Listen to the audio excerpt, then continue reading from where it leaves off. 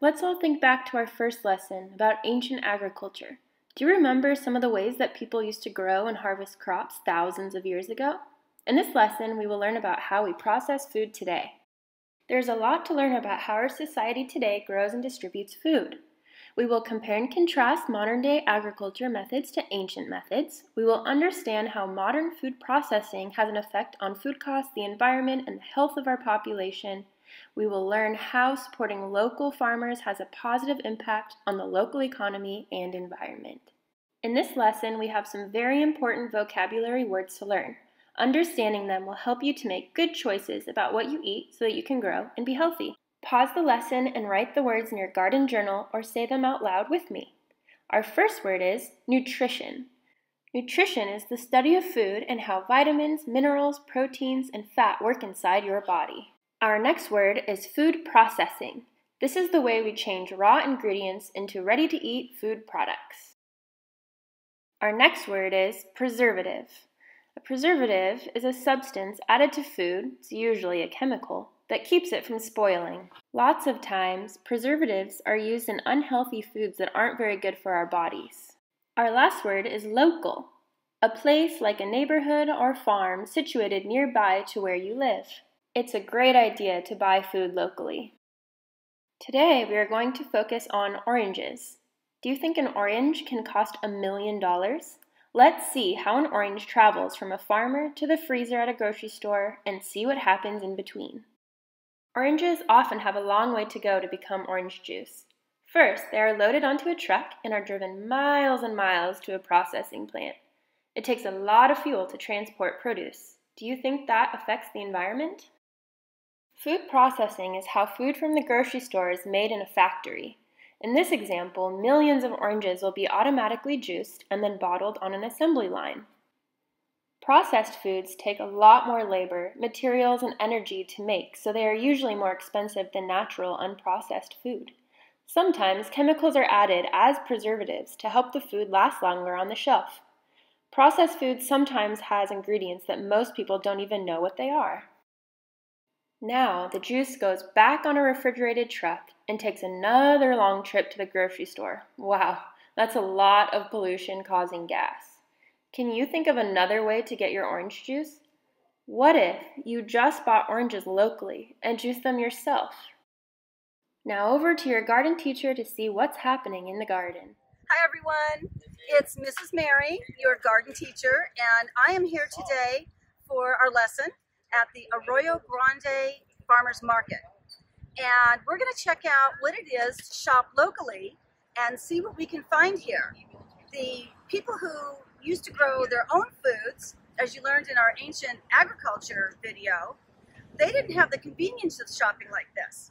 So we're going to see what it is to buy locally, which is going to be close to your home, anywhere from 15 to maybe 30, 40 miles away.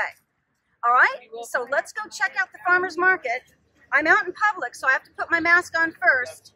So here goes. All right, let's go. Okay, so we went looking for the million dollar orange. And we're not going to find the million dollar orange here because this is all produce that is sold locally. It is grown locally and sold locally.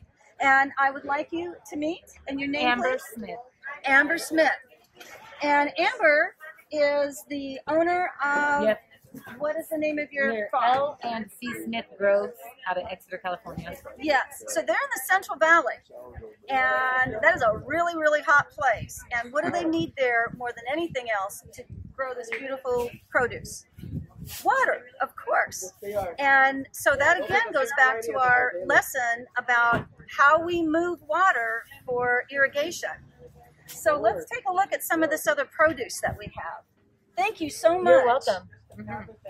So we have a lot of citrus. We have oranges, limes. Here's some honey. This is a mandarin quat. Ooh. thing. So that's a hybrid, uh, a mandarin quad. I've never even heard of that, but that is really amazing. Yeah, satsumas, oro blanco, blood oranges. They're really light in color because it's a summer fruit. Usually in the winter they're a little darker. Wonderful. Oh, and look, orange juices, fresh squeezed. Okay, remember in our lesson, we talked about food processing and how these oranges, well, this is actually a mandarin, but this little mandarin has to travel miles and miles and miles, maybe all the way from Florida, just to end up back in California. So this is orange juice in a little quart size. And this is all grown locally and squeezed locally and brought to this wonderful farmer's market. It takes about 30 oranges this size to fill one of these. Wow. So if you do the math on that, 30 oranges to this quart, how many oranges would you have to have to do one, two, three, four, five, six quarts? So thank you. 150 oranges? That's a lot of oranges. And imagine how far those oranges would have to travel. What would that happen to the environment if we keep getting all of our produce from different places around the United States? If you have to bring all those oranges from Florida to California, it's going to burn a lot of fuel and it's going to create pollution. But if you just do it locally like this, it's a much, much better way to go for our environment. And it's really super tasty and fresh. So we're at our next stand at the Arroyo Grande uh, Farmers Market. And we are at the Chavez Family Farms booth. And they are located in Santa Maria. Now, Santa Maria is only 15 miles from here. And we are going to meet Arturo. And Arturo is helping us with our produce today. And so I have a couple questions. Now, you are selling, growing and selling locally. Yes. Uh, do you find that this is economically better for you to be able to come here to somewhere so close to your farm? Oh no, we really like it. We go as far as Santa Barbara, but we really like our local markets. Oh, that's great. Yeah, especially the one in San, San Luis Obispo, Oh, which we were at this morning. Yeah, everybody's looking forward to the San Luis Obispo market coming back. So let's take a look at some of Arturo's um, produce. We have wonderful peppers and beans. You know, we're growing those at uh, our little garden, and all kinds of root crops. Ooh, I see something that I'd really like to get. I would like to get. Um, let me take. Let me take two poblano, poblano peppers, please. Go ahead and choose the ones you Oh, like. all right.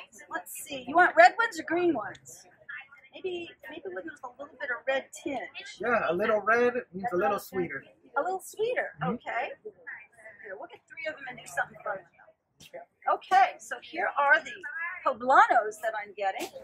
This is a beautiful bag of spinach. Yeah, Let's- washed. It's all washed, ready to go. See how convenient? And it's really fun because you get to meet the people that you're actually buying from. So I'm going to add a bag of spinach to that. Okay, Arturo, ring us up. Yeah, at a twenty, five dollars. Have your fifteen. All right. Take another pepper with you, whichever one you want. Oh, really? Go for it. Oh, cool. Should we get a green one? Let's compare. We'll do a a flavor comparison. So we're going to get a green pepper to go with our slightly red peppers. I'll just put that in there. All right. I thank you so much. thank you. You have a great day. Thank you. Take care. Bye-bye. Bye.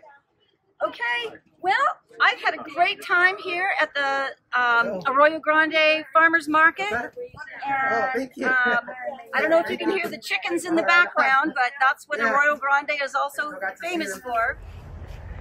So these are some of the famous Arroyo Grande chickens.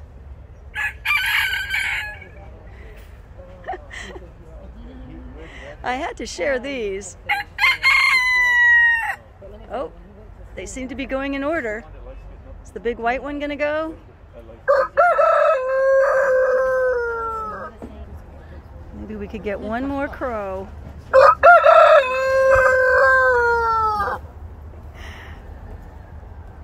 Bye, chickens.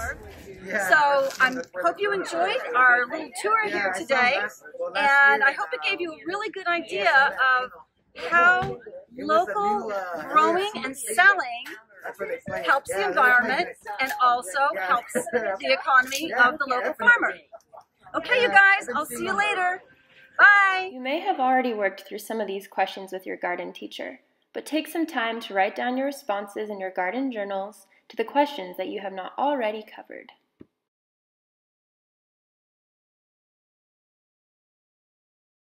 Thank you for joining us today. For some interesting reading about food processing, check out the book An Orange in January by Dianna Hutts Aston. See you all next time.